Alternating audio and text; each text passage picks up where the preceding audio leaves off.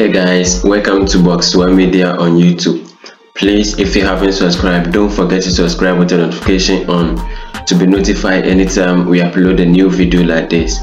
In today's tutorials, I'm going to teach you how to export a quality video using CapCut Desktop. Very simple. So when you get the editing done, you head into the right corner here, export. You type on export when it come like this make sure you mark remove watermark so that the CapCut logo won't be in the video. And you title your work. Then the folder you want the um the video to save to.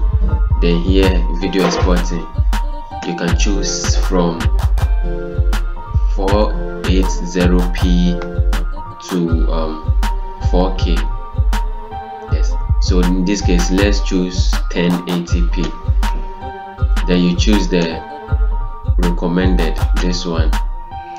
Then here too you choose the the most common compression method. You choose this one too. Then here you change the frame rate to 30 30 fps the cover no cover added. So you type on the export